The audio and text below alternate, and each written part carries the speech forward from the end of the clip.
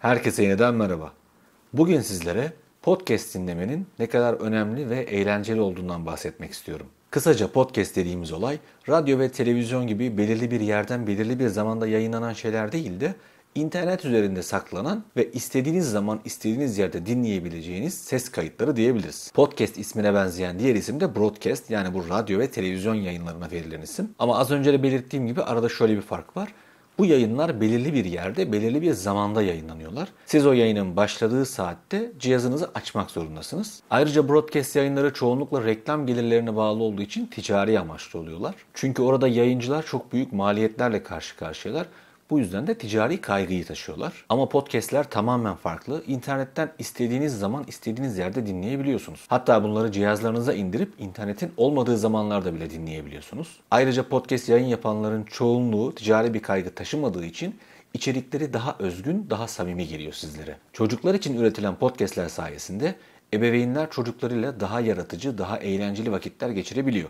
Mesela biz bunu uyguluyoruz. İlgi çekici bilgiler sunan bir kanaldan bir yayını açıyor ve bunu beraber dinliyoruz. Aynı bilgiyi ben anlatsam belki dinlemeyecek, çekici gelmeyecek. Fakat oradaki anlatıcının sesinin yabancılığı, arka plandaki ses çocuğun ilgisini çekiyor. Bu kaydı sık sık durduruyoruz. Oradaki bilgileri pekiştirme amaçlı konuşuyoruz. Daha sonra kayda devam ediyoruz. En sonunda da bana bu kaydı özetlemesini istiyorum. 5 dakikalık kaydı 25 dakikada özetliyor ama sorun değil yani en azından çocuk için çok daha keyifli olmuş oluyor. Çocuk hikayeleri podcastleri çocukların duygusal gelişimine katkıla bulunabilir diyorlar. Duygularını tanıma ve ifade etme gibi konularda çocuklara yardımcı olabileceğini düşünüyorlar. Hikayelerdeki karakterlerin yaşadığı duygusal deneyimler çocukların kendi duygusal deneyimlerini daha iyi anlamasına ve ifade etmesine yardımcı olabilir diyorlar. Biz beraber kitap okuyup benzer duyguları yaşıyoruz. Oradaki karakterleri canlandırarak okuduğum zaman hoşuna gidiyor ve etkileşimimiz en üst kaliteye çıkabiliyor. Fakat az önce de bahsettiğim özelliklere ek olarak işin içine bir de teknolojik bir durum girdiği için çocukların daha fazla ilgisini çekiyor. Bunun yanı sıra çocuklar için üretilen podcastler çocukları ekran bağımlılığından uzaklaştırdığı için onların sağlıklı bir şekilde büyümelerine de yardımcı olabilir. Günümüzde çocukların büyük bir kısmı tablet veya telefon ekranına bakarak vakit geçiriyorlar. Bu durumda göz sağlığı, psikolojik durum ve uyku problemleri gibi sorunlara yol açabiliyor. Ancak çocuklar podcast dinlerse hem gözlerini yormazlar hem zihinlerini geliştirirler hem de uyku öncesi harika bir gevşeme aracı olarak kullanabilirler. Birçok podcast çocukların farklı diller öğrenmesine yardımcı olabilir. Özellikle yabancı dil öğrenmek isteyen çocuklar için hazırlanan podcastler sayesinde çocuklar hem farklı bir dil öğrenebilir hem farklı bir kültürü tanıyabilirler. Yabancı bir dil öğrenmek yetişkinler için çok daha zor. Podcast'ler burada yetişkinlerin de imdadına yetişiyor. Ben de podcast'ler sayesinde İngilizce seviyemi ilerlettim ve gerçekten etkili olduğunu söyleyebilirim. Podcast dinleyerek dilin gerçek kullanımını çok daha rahat bir şekilde öğrenebiliyoruz. Kelimelerin doğru telaffuzlarını çok daha doğru bir şekilde duyabiliyoruz. Çoğunlukla kulaklıkla dinlendiği için de daha çok dikkatimizi çekiyor ve daha akılda kalıcı oluyor. Podcast dinlemenin bir başka avantajı da bilgi edinme avantajı sağlamasıdır. Podcast'ler genellikle belirli bir konuya odaklanırlar ve o konuda uzman olan insanların fikirlerini içerirler. Bu sayede dinleyerek yeni bilgiler edinebilirsiniz. Mesela girişimciyseniz bir girişimcilik podcast'i dinleyerek sektördeki yenilikleri, başarılı girişim öykülerini ve işletme yönetimi hakkında bilgileri öğrenebilirsiniz. Podcast dinlemek aynı zamanda çok eğlenceli bir aktivite. Çünkü birçok podcast güncel konuları ve popüler kültürü ele alırken bunları eğlenceli bir dille sunar. Podcast dinlemek kolay ve ücretsiz. Bir telefon ve bir kulaklıkla bütün işinizi halledebilirsiniz. Ben genelde arabada dinlemeyi tercih ediyorum müzik dinlemek yerine ama çoğunluk yine kulaklıkla dinliyor. Birçok podcast uygulaması ve web sitesi var.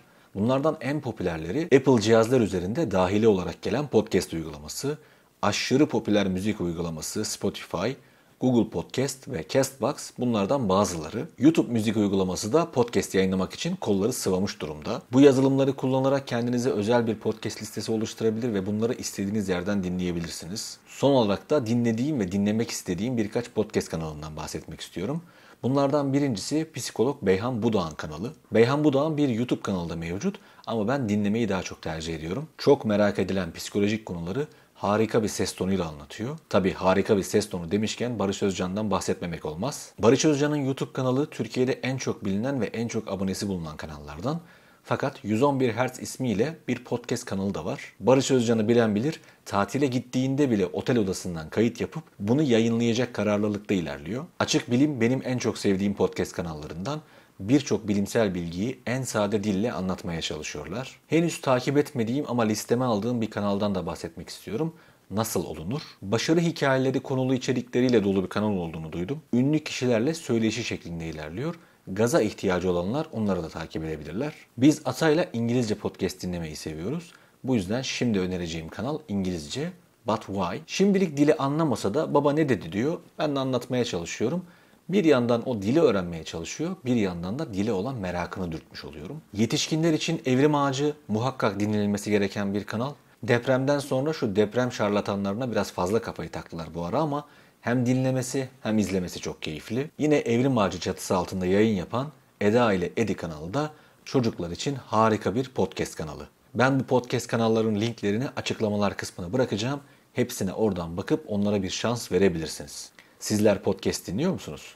Dinliyorsanız dinlediğiniz kanalları varsa linklerini lütfen bizimle yorumlar kısmında paylaşın. Benden bu haftalık da bu kadar. Önümüzdeki perşembe macOS derslerinin yeni videosuyla, diğer pazar rastgele bir teknoloji videosuyla görüşmek üzere. Hoşçakalın.